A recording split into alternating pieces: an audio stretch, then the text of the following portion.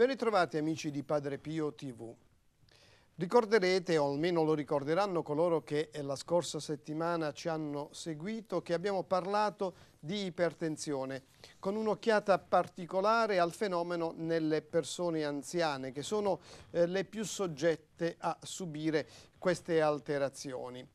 Il discorso si è presentato molto interessante, meritava approfondimento, tanto approfondimento che i minuti che solitamente sono riservati a Spazio Saluti si sono rivelati insufficienti a portare a termine tutta la scaletta eh, delle eh, questioni che sono legate all'ipertensione e che avremmo voluto trattare. Per questo abbiamo pregato il dottor Antonio Del Giudice di tornare eh, fra noi, lui ha accettato volentieri il nostro invito e quindi con, con lui continueremo il nostro discorso sull'ipertensione per dare ai nostri telespettatori, vista anche la diffusione di questo problema, quei consigli utili a prevenire e a eh, modificare eh, lo, lo, stile di vita per fare in modo che eh, questa patologia possa scatenare effetti che possono diventare, come abbiamo detto già la volta scorsa, anche mortali. Dunque, ehm, Riprendiamo esattamente da dove ci eravamo fermati. Il dottor Antonio Del Giudice, che è nefrologo ma che è anche eh, neoresponsabile del centro dell'ipertensione di Casa Sollievo della Sofferenza, eh, ci stava spiegando che eh, la eh, pressione, soprattutto per i soggetti a rischio, eh, deve essere misurata a casa ma può essere misurata eh, con una strumentazione adeguata anche in ambiente sanitario. Allora riprendiamo da qui quando si deve misurare a casa, quando si deve misurare eh, in, um, in, ospedale e quando si deve misurare per 24 ore, come accennavamo proprio sette giorni fa. Eh, buonasera a lei, buonasera agli spettatori di Padre Pio TV. Grazie ancora per avermi invitato a parlare di ipertensione arteriosa. Sostanzialmente eh, quando si va dal medico, nello studio del medico si misura la pressione, quella è la pressione arteriosa cosiddetta clinica che viene eh, registrata nell'ambiente medico. Ma il paziente ehm, può anche misurare da sé la pressione arteriosa a casa o nel proprio ambito di lavoro, nell'ambiente di lavoro, eh, con apparecchi semiautomatici che sono sempre più disponibili al giorno d'oggi eh, che offrono la possibilità di eh, avere dei valori di pressione arteriosa registrati che sono più vicini a quelli veri del paziente, perché quando si va dal medico un po' il paziente in misura minore o maggiore, in misura eh, più o meno consapevole, eh, esibisce una cosiddetta reazione di allarme, che è frutto di eh, ansia, -huh. per cui i valori pressori possono essere falsamente elevati, quelli registrati nello studio del medico.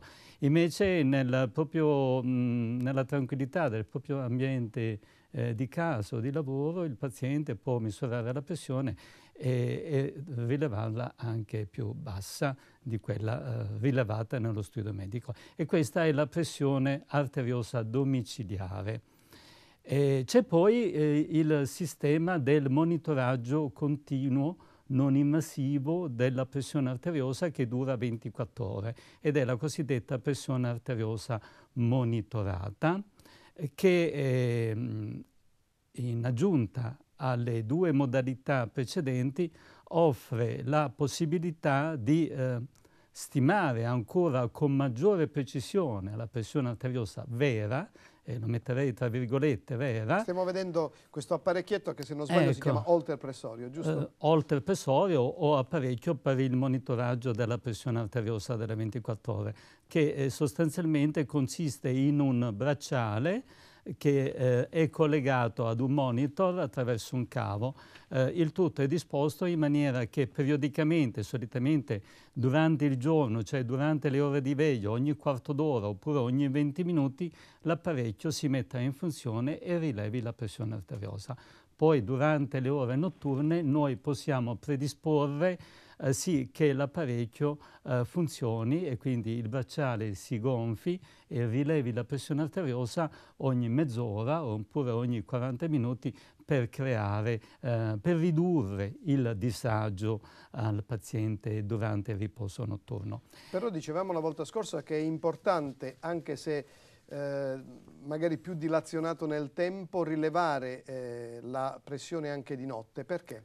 Eh, perché eh, fisiologicamente eh, la pressione arteriosa durante il riposo notturno è, è, più bassa, è più bassa è in media eh, più bassa del 10% rispetto ai valori rilevati di giorno.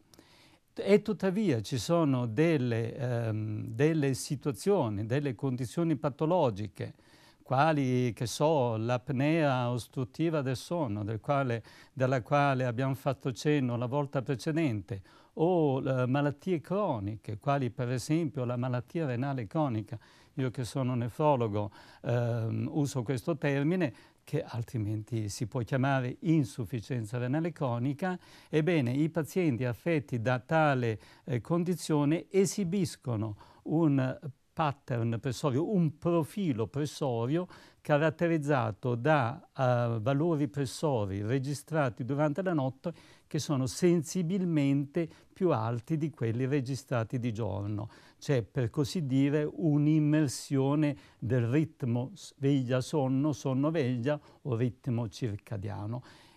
Il monitoraggio eh, della pressione arteriosa delle 24 ore offre questa possibilità di rilevare questo particolare eh, profilo pressorio e quindi essere utile e dal punto di vista diagnostico e prognostico e terapeutico per modulare meglio ehm, la somministrazione eh, o l'assunzione da parte del paziente della terapia antipertensiva.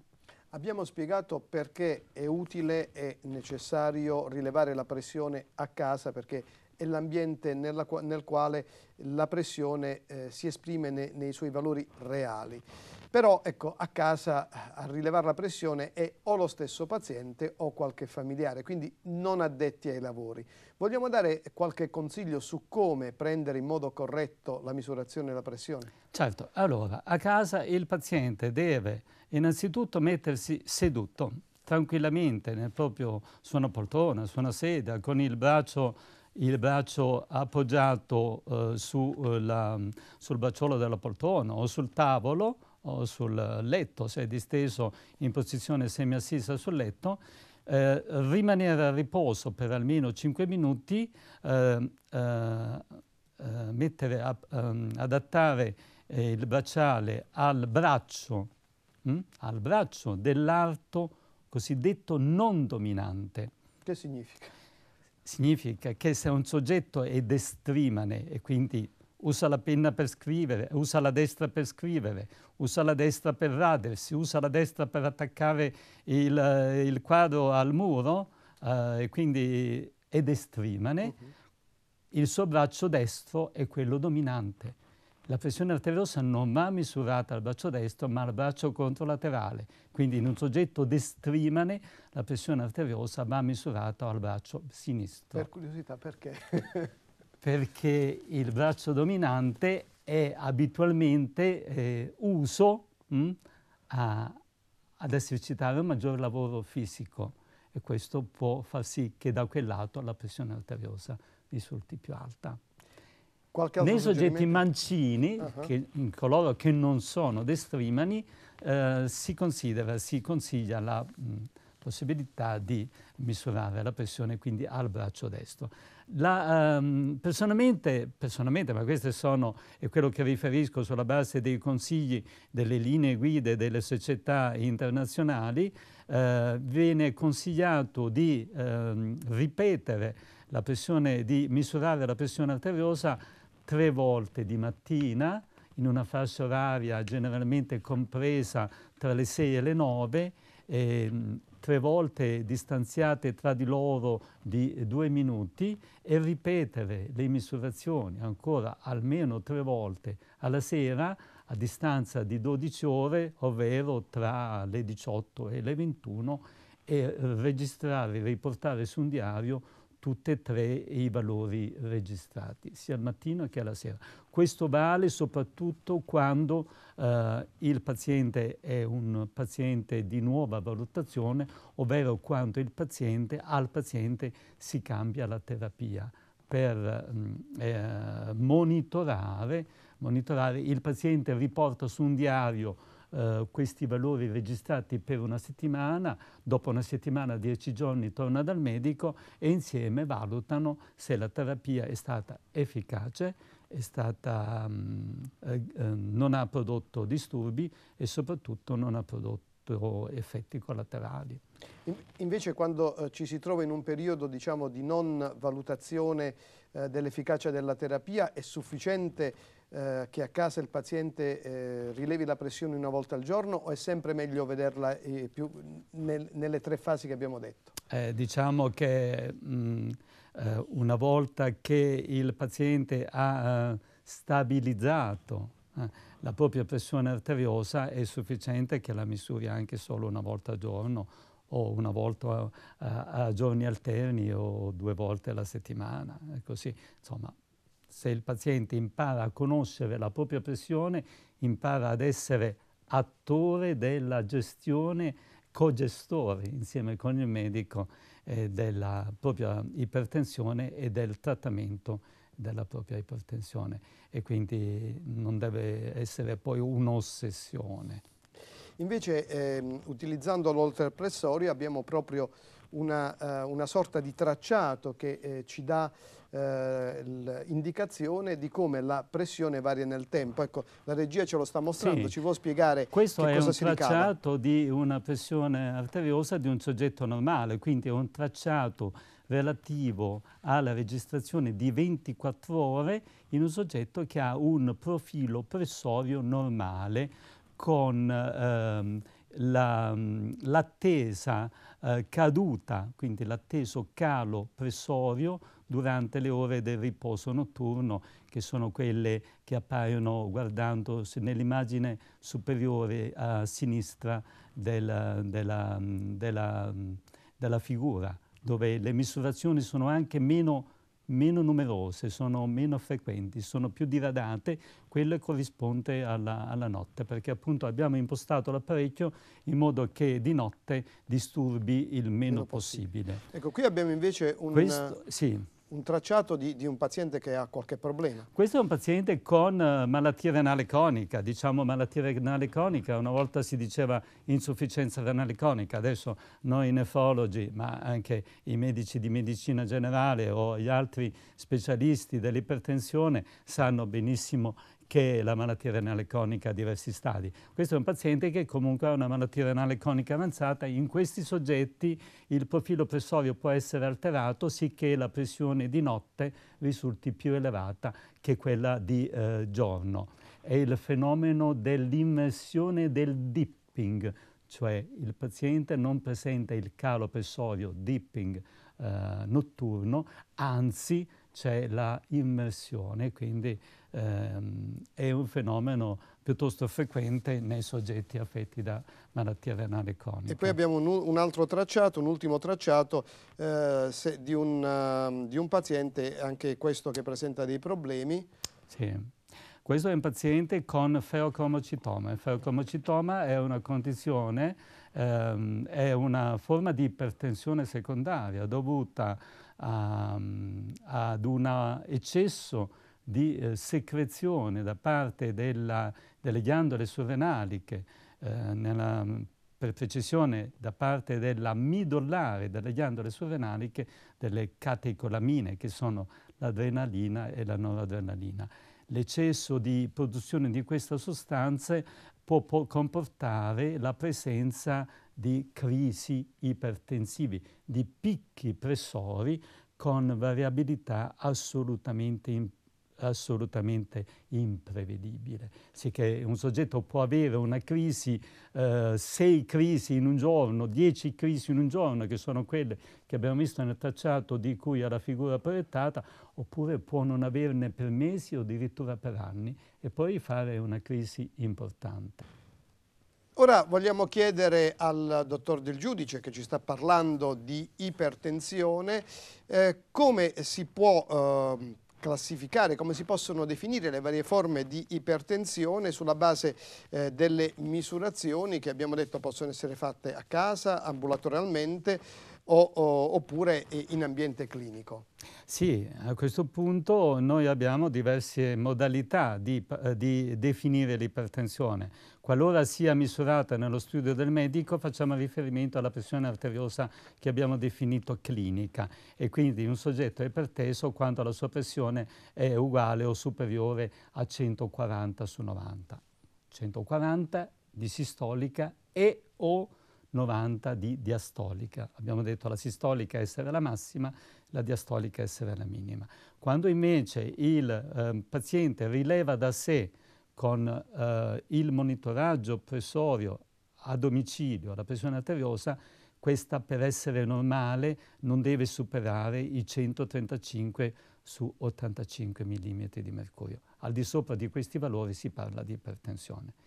Quando invece ricorriamo al monitoraggio delle 24 ore, allora possiamo distinguere la pressione arteriosa registrata nelle 24 ore, presa loro, uh, nella loro globalità, allora non deve essere superiore la pressione a 130 su 80 mm di mercurio.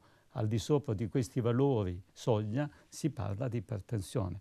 Se poi vogliamo dividere le ore del giorno di veglia, di attività, da quelle del riposo notturno, allora di giorno eh, perché sia normale la pressione, perché sia considerata normale la pressione rilevata con il monitoraggio delle 24 ore, non deve superare i 135-85 mm di mercurio e di notte non deve superare i 120-70 mm di mercurio. Abbiamo detto che la pressione misurata a casa è quella più veritiera, più vicina a, a quella reale, a quella ordinaria, perché può, eh, può scattare uno stato d'ansia.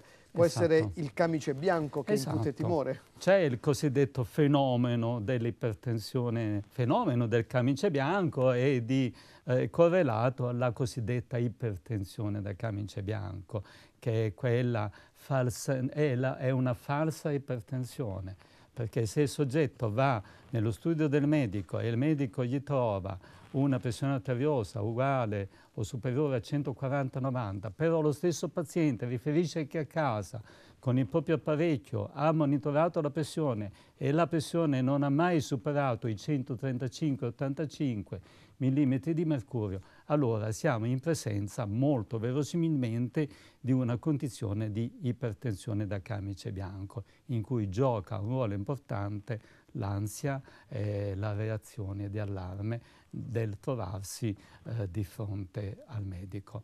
C'è anche un fenomeno molto interessante, che è il fenomeno speculare di questa, il fenomeno esattamente opposto. Cioè uno vede il camice bianco e si tranquillizza, sono in esatto. buone mani. Poi va a casa e trova la pressione alta monitorandolo con il proprio apparecchio. Quindi se un soggetto nello studio del medico presenta, esibisce valori di pressione arteriosa inferiore a 140 su 90 di, mm di mercurio e a casa invece trova una pressione arteriosa elevata, cioè superiore ai valori soglia che abbiamo definito di 135-85, allora quel soggetto è definito come affetto da ipertensione cosiddetta mascherata, che ha anche una sua rilevanza prognostica in quanto può nel tempo, qualora non opportunamente trattata, eh, progredire versa, verso una forma di ipertensione sostenuta,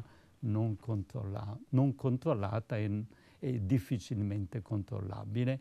E, mh, è possibile fattore di danno a carico degli organi bersaglio che abbiamo individuato eh, la, scorsa, mh, la, scorsa, settimana nel cuore, nel cervello, negli occhi, eh, nei vasi arteriosi e nel rene. E la volta scorsa abbiamo anche detto che non tutto si può con i farmaci per tenere sotto controllo la pressione esatto. e che occorre anche aiutarsi con uno stile di vita adeguato. E allora eh, la volta scorsa ne abbiamo parlato in maniera diciamo abbastanza veloce. Vogliamo dare quei consigli utili agli ipertesi per fare in modo che i farmaci raggiungano l'obiettivo? Sì, prima di iniziare eh, un trattamento antipertensivo è bene, è bene dare consigli atti a uh, modificare positivamente lo stile di vita e quindi soprattutto consigli tesi a, um, a una corretta uh, alimentazione e ad una uh, opportuna attività fisica. Per quanto attiene all'alimentazione è risaputo che la riduzione dell'apporto sodico con la dieta è fondamentale eh, qualora si voglia eh, approcciarsi correttamente al trattamento dell'ipertensione. Eh, le diete ipersodiche eh, eh, producono più facilmente ipertensione nei soggetti predisposti. Comunemente si sa che il sodio si trova nel sale, che è cloruro di sodio. Esatto, Ma, sale. Eh, e quindi diciamo che gli ipertesi sanno che devono tenere il sale lontano dal, sì. dai loro piatti, ma si trova anche in altri cibi il sodio? Naturalmente, naturalmente. Il sale si trova, uh, il sale si trova um, negli insaccati, negli, negli alimenti conservati, eh, negli alimenti salati, che so, i salumi, i formaggi stagionati, ecco. eh, le conserve alimentari in genere, le olive, eh, le acciughe, il tonno e quant'altro. È opportuno ridurre l'apporto di sale con la dieta a 5-6 grammi al giorno. In tale, ottica, in tale, ottica, si consiglia, per esempio, in un soggetto iperteso che vive in famiglia, di ehm, mangiare pure la pasta lessata con la giusta quantità di sale, ma di evitare poi il sale aggiunto. Nel condimento, per esempio. Nel condimento. Condire diversamente la carne, il pesce, l'insalata, eh, le verdure, condirle diversamente senza usare il, sol, il, il, cloruro di sodio, il sale, il comune sale. Oltre alla, alla, al sodio, cos'altro bisogna E poi è importante anche ridurre l'apporto di bevande alcoliche e quindi ridurre l'apporto di alcol a 10-20 grammi al giorno nel maschio e nell'uomo e a 20-30 grammi al giorno nella donna. Diciamo che siamo al bicchiere di vino per pasto? Al bicchiere di vino. Uh, un bicchiere di vino di media grandezza, bicchiere di vino rosso di media gradazione contiene 12 grammi, 12 grammi di, di, di, mm, eh, di alcol. Uh -huh. Così pure una birra media, una birra da 330 millilitri, contiene 12 grammi che sono contenuti pure in un bicchierino da bar di superalcolico amaro. Diciamo che per, per gli uomini va bene, le do, per le donne siamo già un po' sopra il dosaggio. Esatto, esatto, bisogna stare e porre maggiore attenzione invece a, a non far mancare l'apporto di eh, vegetali, frutta, acqua, bere uh -huh. acqua. L'acqua è la base. Eh, se lei vede uno schema, ecco, dalla piramide alimentare, alla base c'è l'acqua l'acqua. L'acqua deve, il nostro organismo, l'organismo umano è composto per la maggior parte di acqua, quindi è fondamentale consigliare un apporto idrico adeguato che deve essere almeno superiore a, un litro e mezzo al giorno e deve essere un'acqua, um, uh, un'acqua oligominerale acqua oligominerale, perché ci sono poi le acque minerali che hanno un residuo fisso alto e che sono salate sono ricche di sodio. Eh, quindi, quindi, quelle fanno male. Quelle fanno, male. Eh, eh, fanno bene in altre condizioni, so, l'acqua minerale è, consigliata alle donne che hanno partorito e che allattano oppure ai bambini in crescita, ma ai soggetti adulti, soprattutto se affetti da patologie quali l'ipertensione o la malattia renale cronica, è suggerita e è consigliata l'apporto di eh, almeno un litro e mezzo di acqua oligominerale.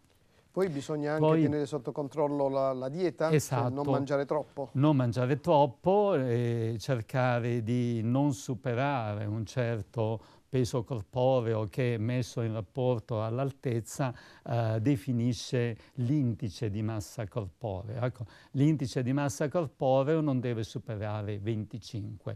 L'indice di massa corporea si calcola facilmente dividendo il peso corporeo del soggetto per il quadrato dell'altezza espresso in metri. Consigliare questo, consigliare un'attività fisica regolare, eh, si può consigliare una corsa leggera, eh, un'attività fisica moderata, aerobica, una corsa leggera o una eh, marcia a passo sostenuto eh, mh, protratto per almeno 30 eh, minuti e per almeno 5 giorni alla settimana. Sicuramente e smettere di fumare. Anche, quindi anche il fumo? Anche il fumo. Il fumo e in che modo, per esempio, il fumo? Perché mentre eh, diciamo, il, um, il, il, abbiamo spiegato i meccanismi che gli alimenti producono sul, sulla pressione, il fumo uno può pensare vada a danneggiare soltanto l'apparato respiratorio. Invece che relazione il fumo sì, con l'apparato cardiovascolare? In acuto, in acuto eh, il fumo di una sigaretta fa aumentare la secrezione fa aumentare l'attività del sistema nervoso simpatico, la liberazione delle catecolamine di cui abbiamo già parlato ah, ecco. e determina una, un effetto vasocostrittore in acuto, così come il caffè. E, ma anche i fumatori cronici poi sviluppano una uh, patologia cronica, una patologia vasale cronica, sicché poi il fumo determina l'abitudine al fumo, quindi uh, il fumatore abituale diventa poi eh, a maggior rischio di sviluppare un'ipertensione indipendentemente dagli altri fattori, cioè fattori genetici, ambientali, dietetici eh, e, e malattie. Abbiamo detto allora qual, qual è lo stile di vita corretto eh, per far eh, funzionare al meglio la terapia farmacologica che eh, viene ehm, assegnata pazienti, ai pazienti ipertesi. E ora cerchiamo di capire quali sono i farmaci prescelti per ottenere appunto che eh, la, la, la dieta insieme alla terapia farmacologica faccia il suo effetto? Beh, ci sono diverse possibili scelte, c'è un'ampia scelta di farmaci antipertensivi. Al giorno d'oggi si è visto che molte volte quando non accompagnata dall'osservanza di adeguate misure eh, di correzione dello stile di vita, un solo farmaco spesso non è sufficiente a tenere sotto controllo la pressione arteriosa nella maggior parte dei casi. Sicché noi abbiamo i diuretici eh, che favoriscono eh, l'eliminazione di acqua e di sodio, di sale, uh -huh. abbiamo i calcio antagonisti, abbiamo gli inibitori eh, dell'enzima di conversione, i cosiddetti ACE inibitori, abbiamo gli antagonisti recettoriali dell'angiotensina, abbiamo i beta bloccanti. Abbiamo la possibilità di associare anche eh, farmaci appartenenti a queste diverse ehm, eh, ehm, categorie. categorie di farmaci. E, um, ci sono delle associazioni che sono consigliate e delle altre che non sono consigliate. Per esempio, associare un diuretico ad un calcio o un diuretico ad un ACE inibitore o un diuretico a, ad un inibitore del, dei recettori dell'angiotensina è, è di beneficio qualche problema in base ai risultati di studi clinici eh, recenti eh, ha dato mh, eh, l'associazione tra due sistemi, tra farmaci che agiscono sullo stesso sistema, voglio parlare, voglio dire gli ACE inibitori e gli antagonisti recettoriali dell'angiotensina. Si è visto che a lungo eh, questi farmaci eh, eh, consentono sì di ottenere un più eh, adeguato controllo della pressione arteriosa, però alla lunga possono determinare eh, dei danni eh, degli effetti collaterali in termini di patologia soprattutto renale. Quindi è sempre lo specialista che in base al, alla risposta e in, e in, base al controllo eh, degli eventuali effetti collaterali determina gli abbinamenti e i dosaggi certo, Certo, eh, tenendo presente comunque che abbiamo sempre davanti a noi non la malattia ma il singolo soggetto, il singolo soggetto ammalato. Certo.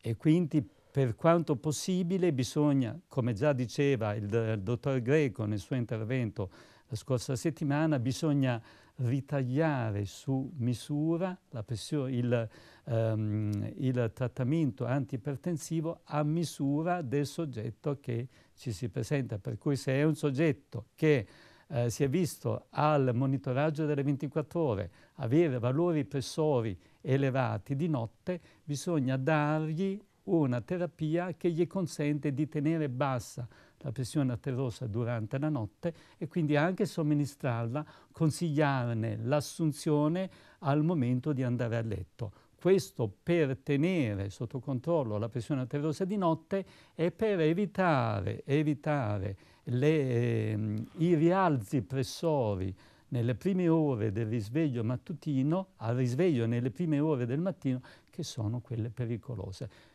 eh, le ore più pericolose sono quelle delle prime ore del mattino perché eh, aumenta la pressione, perché c'è una maggiore aggregabilità piastrinica, una maggiore attività del sistema nervoso simpatico. Questi fattori concorrono ad accrescere il rischio che gli eventi cardiovascolari, gli eventi cardiovascolari eh, o cerebrovascolari avvengono per lo più nelle prime ore del mattino.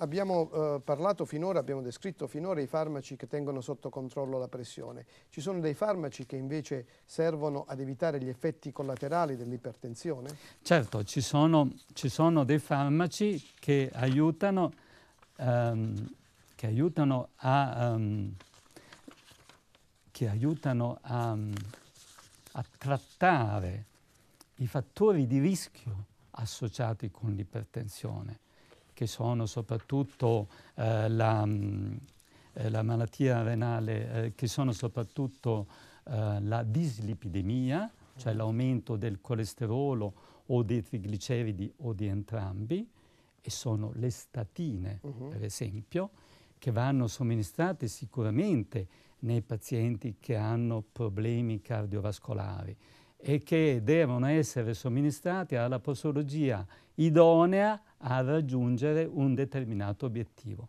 quello di abbassare il colesterolo eh, cosiddetto cattivo, il mm. colesterolo LDL, il colesterolo a bassa densità, le lipoproteine a bassa densità, che nei soggetti con malattia eh, coronarica conclamata, quindi con cardiopatia ischemica, deve essere tenuto molto basso, al di sotto di 70 mg per decilitri. Negli altri, nei soggetti ipertesi comunque a rischio, eh, deve essere tenuto al di sotto di 130, ma qualcuno dice anche 115 mg per decilitro. E poi c'è eh, la prevenzione della... Mh, mm, eh, c'è l'impiego della, degli antiaggreganti piastrinici.